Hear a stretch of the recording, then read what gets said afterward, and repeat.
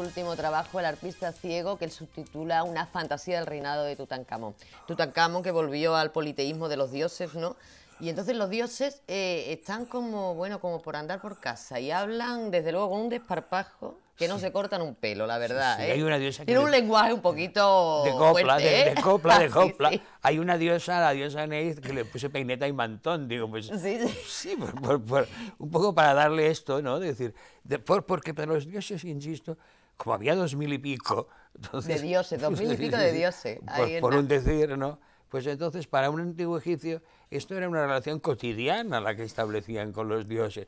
Pues te diría que un poco, sería un poco como la, la relación que en Andalucía tenéis con las vírgenes, ¿no? Sí. Cuando en Semana Santa... Que le pues, decimos bonita, no, guapa. de todo, de todo. Y una vez, yo una vez recuerdo una Macarena que ya la vi como que sería a las 5 de la madrugada, iban ya los armados, así que no podían más y todo eso.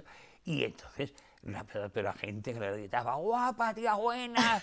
Y claro, a, a mí me parece Y fantástico. al foráneo se queda con la cara un poquito como diciendo, bueno, ¿qué le están diciendo? Claro, pero tú imaginas, la Virgen. de repente... eh, Pero no es falta de respeto, lo sigue Claro queriendo que no, claro, al, al Y aquí, como al- en este libro, ¿no? Al contrario, es mucho cariño, ¿no? Claro. Entonces digo, es la misma relación, ¿no? La misma relación que se establece entre las vírgenes en Andalucía, es la que se Sí que establece es verdad, aquí sí que entre, es la- verdad. entre los No dioses. se me había ocurrido a mí esa comparación, pero sí que es verdad que tiene mucho. Bueno, si Yo ustedes me acuerdo hoy- que hay una copla que la cantaba Juana Reina, creo recordar, que, que tienen un pique la Macarena y la Esperanza de Sí, Triana. Tienen un pique de ver de cuál es más guapa. Y era una copla preciosa. Y es un poco eso, Sí, ¿no? De eso. que dices, bueno, hay allí dos vírgenes diciendo que yo soy más guapa porque tengo las trenzas más... No, Sí, más...